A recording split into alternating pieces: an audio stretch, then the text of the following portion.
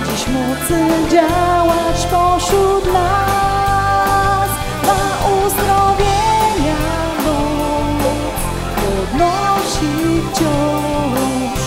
Pomocą dla mnie najpewniejszą jest. Dziś jestem tutaj po to aby wychwalać Twoje święte imię. Chcę z Tobą być. Ciebie uwielbić. Chcę Ciebie uwielbić. Jesteś moim szczęściem, Panie, prawdziwym skarbem dla mej duszy. Chcę z Tobą być, chcę Ciebie uwielbić.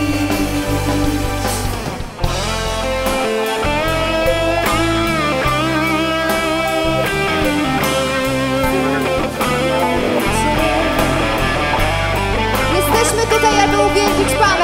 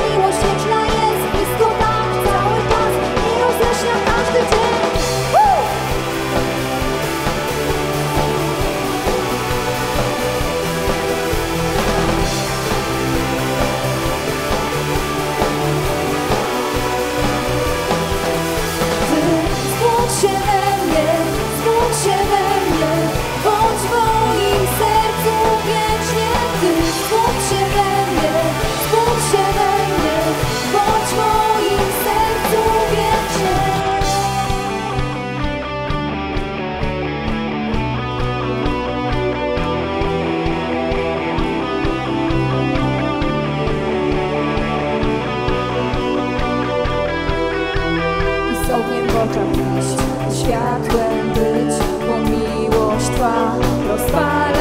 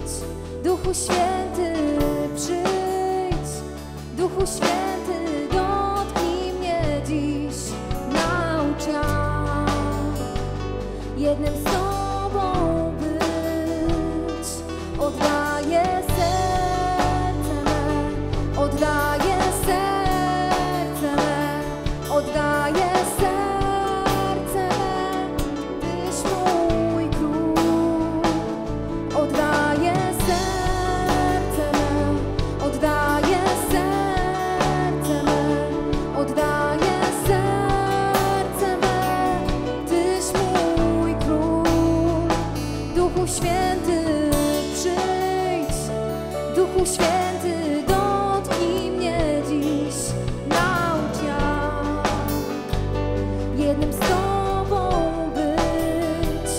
Duchu Święty przyjdź, Duchu Święty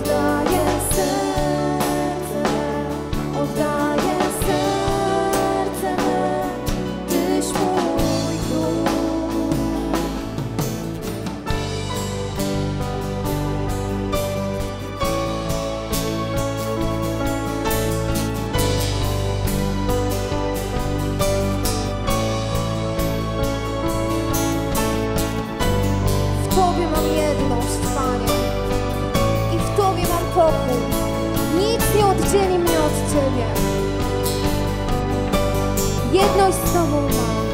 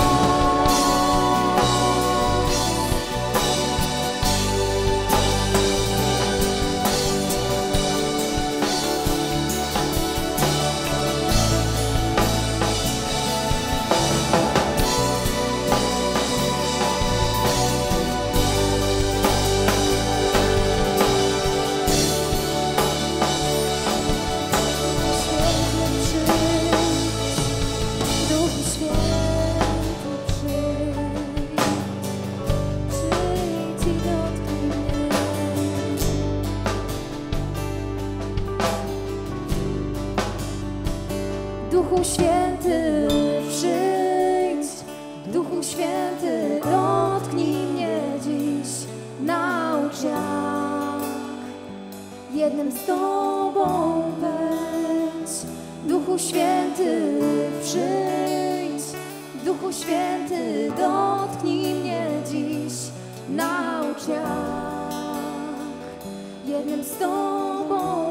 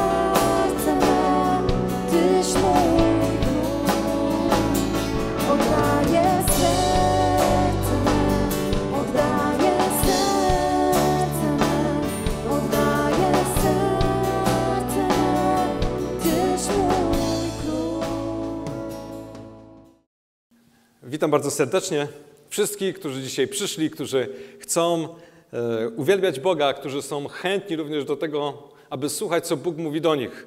Witam również tych wszystkich, którzy kiedyś będą oglądać to, co, co tutaj się dzieje w internecie.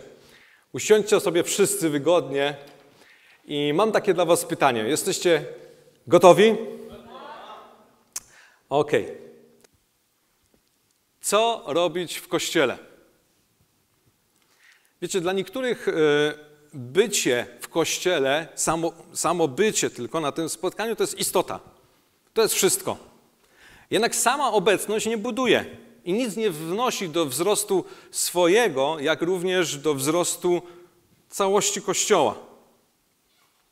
Pamiętam, że byłem kiedyś w takim kościele, gdzie istotą bycia było siadanie i wstawanie, gdzie yy, robiło się wyuczone gesty. To się nazywa liturgia, gdzie jest bardzo mocno rozwinięta. W każdym kościele jest liturgia. Yy, gdzie panował pewien automatyzm tego, co się robi. I siłą rzeczy Kościół stawał się nudny. Bo wszystko, jeżeli coś robimy z automatu, ciągle powtarzając te same gesty, jakiekolwiek, siadanie, wstawanie, klaskanie, podnoszenie rąk, cokolwiek, powoduje, że z czasem stajemy się bierni. To nudzi. I w konsekwencji Kościół zamiast przyciągać odpycha i staje się miejscem ucieczki. Jednak Kościół współczesny powinien być. Popatrzmy sobie na Jezusa. Kiedy Jezus zwiastował Ewangelię, kiedy chodził ze swoimi uczniami, komunikował we współczesny sobie sposób, dobierał obrazy, dobierał przypowieści dla współczesnych słuchaczy. Mówił do współczesnych sobie ludzi. A więc sposób i forma wyrażania musiała być autentyczna i na czas tamtego okresu. I też to Jezus robił. Dzisiaj próba bycia w formie i sposobie działania takiej jak pierwszy Kościół jest nieporozumieniem. Chociażby dlatego, że nie nosimy takich szat i w sandałach tylko w lato biegamy. Ale również z innych powodów, dlatego że to była inna też kultura, a dzisiaj jest też inna kultura. Jesteśmy w innym miejscu osadzeni niż Kościół, który był na początku. A więc sposoby działania, forma powinna być ciągle współczesna, zmieniać się do czasu, w którym jesteśmy, komunikować w taki sam sposób, jaki komunikujemy w życiu codziennym. Jednak dziś chciałbym pokazać, e, że nie chodzi właśnie o bierność, tylko o zaangażowanie że współdziałanie i współzależność to istota Twojej bytności w Kościele. Czym jest Kościół? Jezus używał przypowieści, jak powiedziałem wcześniej, i obrazów dla współczesnych sobie. I kiedy czytamy w Słowie Bożym o Kościele, znajdujemy takie obrazy jak owczarnia i jesteśmy porównani do owiec, a cały Kościół to owczarnia. Jezus o tym mówił. Również znajdujemy taki obraz jak ciało, części ciała, a Kościół to całość tego ciała. Również rodzina. I one się gdzieś przenikają, te obrazy. Jest też e, obraz budowli. My jesteśmy poszczególnymi kamieniami, cegiełkami, które budują całość. Ale gdyby tak dzisiaj, Jezus dzisiaj pokazywał, czym jest Kościół. Myślę, że użyłby współczesnych i bardziej dla nas, takich na dzień dzisiejszy, szczególnie dla młodych ludzi, e, znaczących obrazów. I sobie taki pewien obraz chciałbym nakreślić, że współcześnie Kościół to jak komputer. To taki. To jest Kościół. Wyobraźmy sobie, że to jest Kościół. Nie trudno, tak? Nie trudno. Myślę, że ten obraz będzie bardziej czytelny, gdy, gdy go jeszcze lepiej pokażę. A więc komputer, przygotowałem się i pokażę, jak wygląda komputer. Komputer składa się z mnóstwa części. Jest jakaś obudowa, jest jakiś e, wentylator, jakiś układ chłodzenia, może tak pokażę. Jest dysk twardy, to jest też część komputera. Jest procesor, proszę. Mamy kartę Wi-Fi, proszę, bez tego do internetu nijak, ni w ząb. Tu coś jeszcze mamy, jeszcze jakaś część obudowy, proszę. Co jeszcze mamy? Kartę grafiki. No jakże bez karty grafiki może komputer działać? Ciężko. No i jest jeszcze płyta główna, a jeszcze, jeszcze jest pamięć, słuchajcie, jedna. Może lepiej, żeby, żeby dobrze działał, to są nawet dwie pamięci. Proszę, to jest komputer. Płyta główna, parę jeszcze innych tak zwanych bebechów, jest jeszcze monitor, klawiatura i parę jeszcze rzeczy, których nie powiedziałem, albo parę set, jakkolwiek. My czytamy w domyśle co? Kościół. Tak wygląda komputer. I wiecie, to jest, y, to jest dobry obraz. To jest dobry obraz.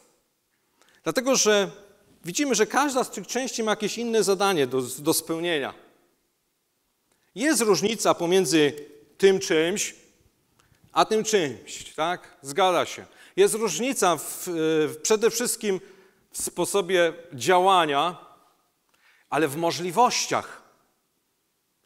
Możliwość tej części jest zdecydowanie słabsza niż możliwość całości komputera. To jest właśnie ta różnica. Tym czymś jest Kościół. Pokażę coś jeszcze, jak mi się to wszystko nie wysypie. Każdy z nas jest częścią. Możesz sobie dzisiaj pomyśleć, wyobrazić, czym chciałbyś być. Może ktoś już oscyluje w kierunku procesora, tak? Ktoś obudowy, klawiatury, jakkolwiek. Jakkolwiek. Każda ma swoje przeznaczenie, słuchajcie. Taki procesor, tak, niby główna część, ale ona ma ważne znaczenie, ale nie działałaby, gdyby nie taki prozaiczny,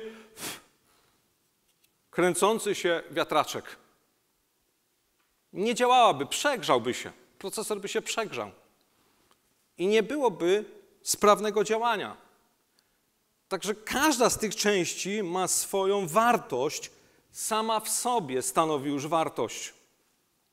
I ona jest konieczna, aby komputer mógł funkcjonować.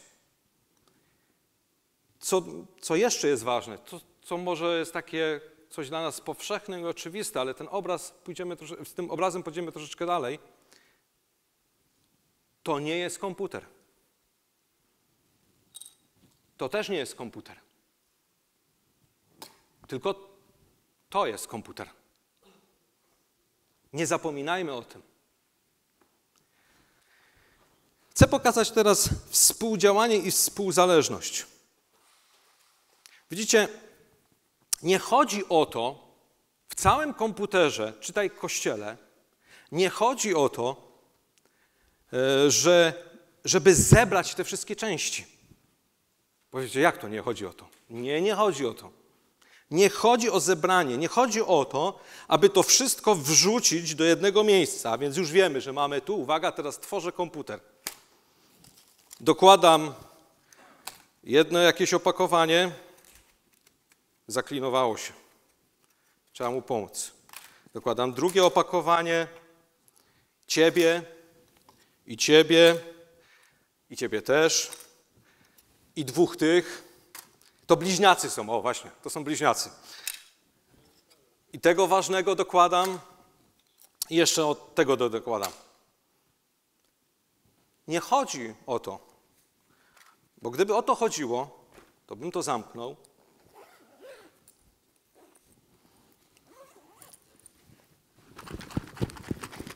potrząsnął i Będzie tam komputer? Nie będzie komputera. I nikogo to nie dziwi, że tam nie będzie komputera. I okazuje się, że to nie jest kwestia wiary. To nie jest kwestia tego mojego przekonania. Nawet gdybyś mocno wierzył, to jeszcze raz ci potrząsę tym. I nie będzie komputera, zgadza się? Suma części, suma części nie ma w sobie siły działania. Suma, zebrane części nie mają w sobie siły działania. Ten zbiór części jest bez życia. No rzeczywiście. Nie poskładał się. On nie ma w sobie życia, on nie ma w sobie działania. To dalej są wszystkie składowe, ale one nie mają w sobie tego czegoś, żeby z tego szło skorzystać. Dlatego komputer jest większy niż część. Ale to, co ważne, i takie bardzo ważne zdanie, które chciałbym, abyśmy sobie nawet będzie wyświetlone, że komputer jest większy niż część, ale całość jest większa niż suma części. Tylko całość jest większa niż suma części. Tyle samo części jest tu, co i tu. Ale całość jest większa niż suma części. I o to chodzi w Kościele. Dokładnie o to chodzi w Kościele. Nie chodzi o, o ilość i sumę tych części, ale chodzi o całość. I tym czymś jest Kościół. Komputer zadziała wtedy, kiedy będzie miał odpowiednie części. I wejdą one ze sobą w co? W interakcję. I dopiero wtedy, kiedy one będą umiejscowione we właściwym miejscu, będą się ze sobą stykać, dopiero wtedy. Nie kiedy będą luzem leżały jeden obok drugiego. I chociaż wszystko jest to składowe dotyczące komputera, to jednak nie stanowi on o sile i o wartości komputera. I tak samo jest z, Kościołem. Muszą być właściwe części, muszą być sprawne części, muszą być właściwie połączone, i wtedy Kościół jest zdrowy, wtedy Kościół po prostu działa i wygląda i nie trzeszczy. To jest właśnie Kościół. To jest obraz, który myślę, że gdyby dzisiaj Jezus był, być może, być może, by się tym obrazem posłużył. Dlatego nie jest istotne to, że zbiera się Kościół nawet razem. Części się ze sobą zbierają. Ale jeśli nie ma powiązań w tych częściach, to to tylko z zewnątrz wygląda, być może jeszcze opakowane jakoś jest, ale nie stanowi o Kościele i sile Kościoła i tego, do czego Kościół został powołany i jakie powinien spełniać funkcje.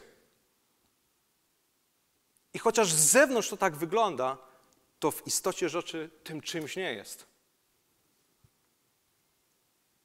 Każdy z nas jest częścią, ale dopiero w tym połączeniu daje efekt. Jest jeszcze drugi aspekt, co wcześniej mówiłem, to jest co? To jest oprogramowanie. To jest oprogramowanie. Tu się nawet jakieś mi znalazło. Które się znajduje na płytkach, na czymkolwiek. Jakieś oprogramowanie. To jest. I o tym oprogramowaniu czytamy w Ewangelii Jana. Ewangelia Jana, 14 rozdział, od 16 do 17 wersetu. A ja prosić będę Ojca i da wam innego pocieszyciela, mówi Bóg, aby był z wami na wieki. Ducha prawdy, którego świat przyjąć nie może, bo go nie widzi i nie zna, ale wy go znacie, bo przebywa wśród was i w was będzie. A więc części same w sobie, nawet właściwie poukładane, nie mają w sobie życia. wręcz podlegają inercji. Są nieskore do działania. Dlatego Bóg to przewidział.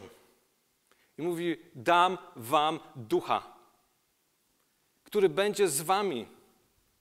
Będzie z wami. Będzie ciągle z wami. Bez niego Kościół nie potrafi funkcjonować. To duch spina części. On jest też jak ten prąd, który powoduje, że te rzeczy tam przepływają. Jak, jak właściwe środowisko, oprogramowanie, że te, te informacje tam mm, się przenikają. Duch Święty jest tym kimś. Bez niego Kościół nie potrafi funkcjonować. Jest tylko zbiorem nawet dobrze poukładanych części, ale nie potrafi przynosić efektu. Załącza się go do prądu i jest co? Ciemny obraz. I nie, niechętnie z czegoś takiego się korzysta. Duch Święty. W liście do Koryntian w 12 rozdziale od czwartego do siódmego wersetu. Pierwszy list do Koryntian, 12 rozdział, 4-7. Różne są dary łaski, czytamy, lecz duch ten sam. Różne są posługi, lecz Pan ten sam. I różne są sposoby działania, lecz ten sam Bóg, który sprawia wszystko we wszystkich.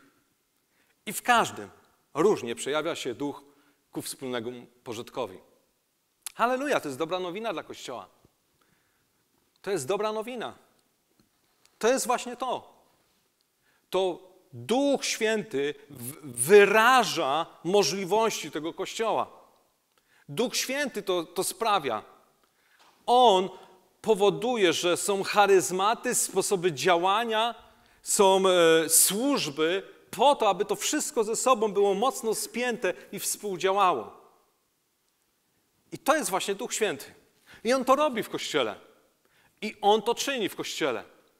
To jest Jego rola. Bez Niego Kościół jest jałowy. Tylko jest sumą części. Dlatego co robić w Kościele? Nie można być tylko częścią. Nie można być częścią, która znajduje się w tym pojemniku, ale należy być częścią, która się łączy, a kiedy się łączy, to też działa w tym środowisku i w tym oprogramowaniu, które Bóg nam dał. Przepływa Duch Święty właśnie poprzez te połączenia, poprzez te współdziałanie, współzależności. Rozwinę jeszcze temat właściwych zależności. Kościół to Boży zamysł i Boże dzieło, zgadza się? Tego nikt z nas nie wymyślił. To było tajemnicą też w Starym Testamencie, a zostało to objawione w Nowym Testamencie. To Jezus zaplanował i wyposażył Kościół. To jest cudowne Jego dzieło. W liście do Efezjan, w drugim rozdziale, 19 wersecie, czytamy takie słowa. Tak więc nie jesteście już obcymi i przechodniami, lecz współobywatelami świętych i domownikami Boga. Lubię ten fragment. Lubię ten fragment, dlatego że on pokazuje nam, że jesteśmy współdomownikami. Jak to jest w domu być z kimś razem? To jest fajna, fajny czas, tak? Dobry czas, czujemy się swobodnie, tak? Możemy, mo, możemy, chcemy tam być. Jak jesteśmy daleko w podróży, to już tak myślimy sobie, kiedy wrócę do domu? Kiedy wrócę do domu? A więc pokazany jest tu obraz, że jesteśmy nie tylko współdomownikami z Bogiem, ale współdomownikami, współobywatelami świętych. Razem tworzymy ten jeden dom. Tu jest kolejny właśnie obraz, bardzo ładny pokazany. A więc tak jak dzieci, cała rodzina tworzymy jeden dom. Tak jak ten komputer. I to jest jedna taka fajna myśl. Kościół teraz jest jako rodzina tutaj w tym fragmencie, czy jako część. I w jednym i w drugim części i rodziny nie wybierasz. To nie jest tak, że jakaś część mówi, a ja z tą drugą nie za bardzo chcę. Ona nie jest tak kwadratowa jak ja. Nie wybierasz części.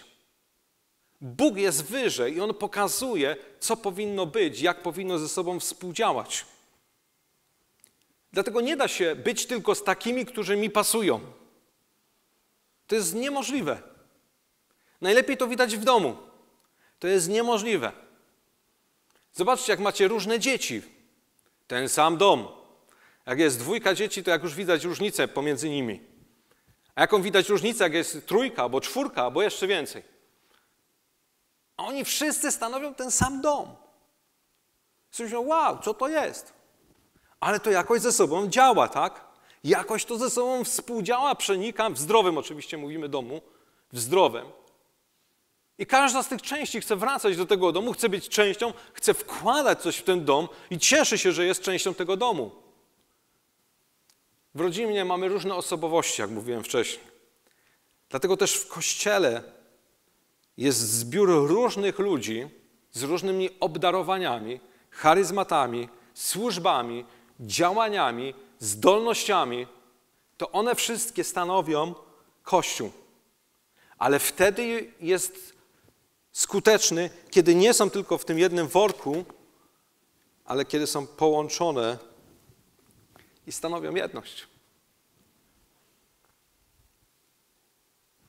I to jest ciekawe, że ludzie to rozumieją. Każdy z nas. Jeśli chodzi o komputer, to jest takie oczywiste. To jest takie oczywiste. A już ta oczywista oczywistość, cytując klasyka, gdzieś nie zawsze przekłada się na życie i funkcjonowanie Kościoła.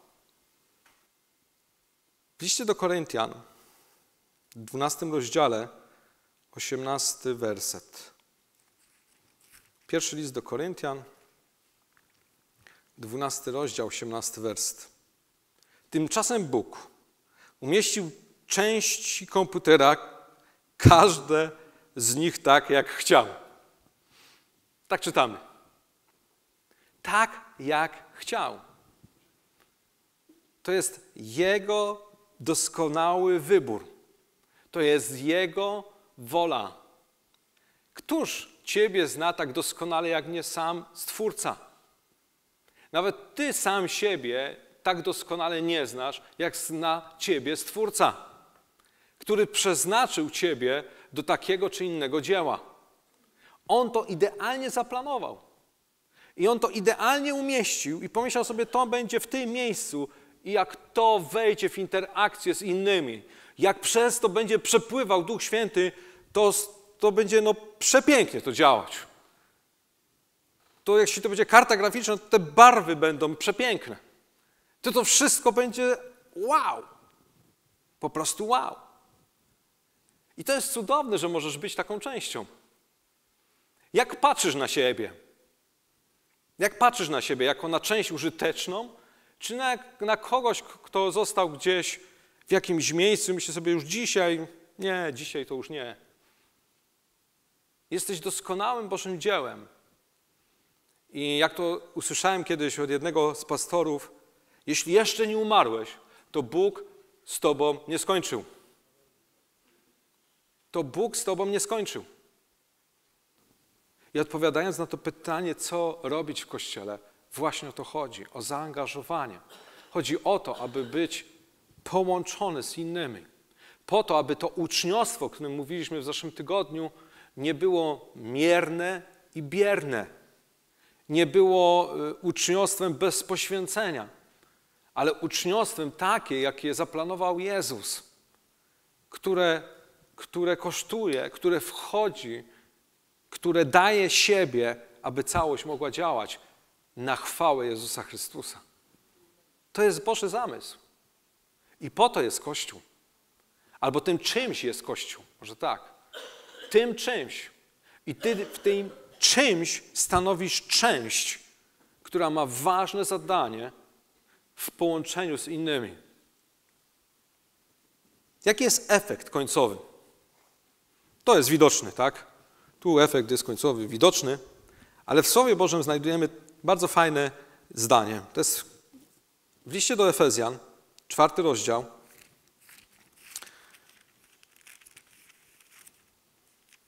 Werset szesnasty.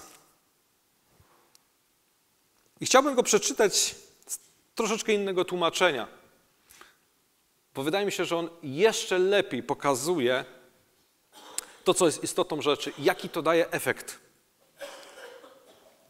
Pod jego nadzorem całe ciało jest dopasowywane i spajane w jedno za pomocą każdego stawu, a każda część funkcjonuje, aby wypełnić swe zadanie. W ten sposób ciało rośnie i buduje siebie w miłości. Rewelacja. Rewelacja.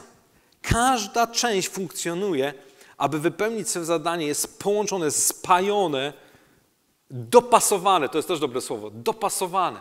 Tak to zaplanował Bóg. I ty idealnie pasujesz, ty jesteś idealną częścią, idealnie pasujesz, bo Bóg to tak zaplanował i On umieścił ciebie w kościele po to, abyś działał, współdziałał i przynosił chwałę Jezusowi.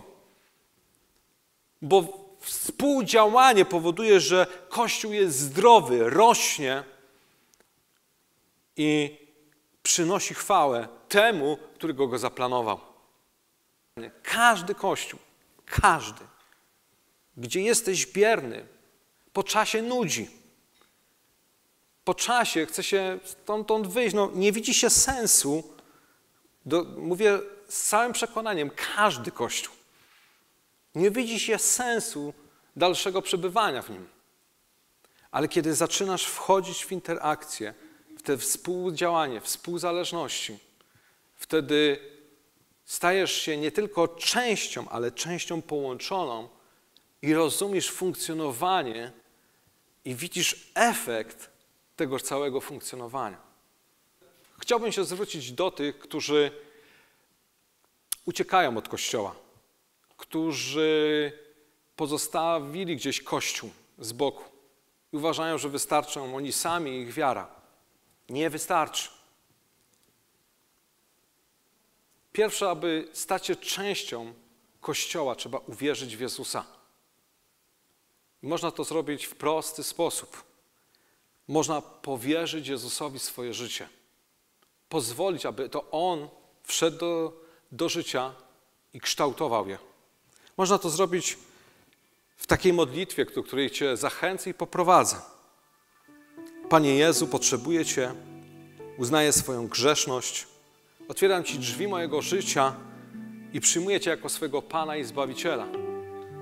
Dziękuję Ci, że przebaczyłeś moje grzechy, ocaliłeś mnie od śmierci, umierając za mnie na krzyżu.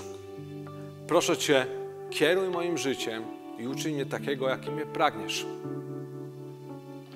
Pozostałych, tych wszystkich, którzy już to zrobili, chciałbym zachęcić do modlitwy. Wstańmy. Chciałbym zachęcić Cię do tego, abyś podziękował Bogu za miejsce, w którym jesteś, za Kościół, za właściwe zrozumienie Kościoła. Bądź uczniem, który ponosi koszty. Powiedz, Panie, chcę być uczniem taki, jakiego Ty mnie widzisz i do czego mnie powołałeś.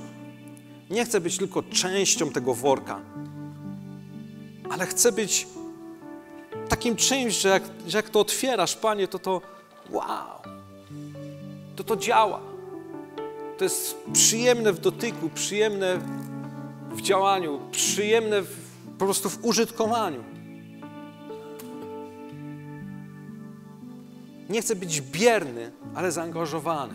Chciałbym Cię do takiej modlitwy zachęcić. Chciałbym Cię zachęcić do tego, abyś zrobił to szczerze. Abyś pozwolił, aby Duch Święty zmieniał Twoje myśli. Dlatego, że my ciągle jesteśmy w drodze. My ciągle idziemy z Chrystusem. Ciągle i ciągle. Bóg z Tobą jeszcze nie skończył. jeszcze nie skończył, jeszcze nie odeszłeś do Niego. Jak już odejdziesz, to sobie z Nim porozmawiasz. Twarzą w twarz. Ale On jeszcze z Tobą nie skończył. Więc zachęcam Cię do takiej szczerej modlitwy. Tych, którzy, którzy potrzebują modlitwy, potrzebują jakiejś innej sprawie, proszę, zapraszam do przodu. Tu są gotowe osoby, czy prawie już są gotowe. Już są prawie gotowe. Kto jeszcze potrzebuje wsparcia w modlitwie, zapraszam. Właśnie to jest Kościół. To są takie części, które o, one się modlą o kogoś. To jest ich rola. A pozostałym, tak jak powiedziałem, dziękuj Bogu i otwórz się na to, aby być częścią działającą.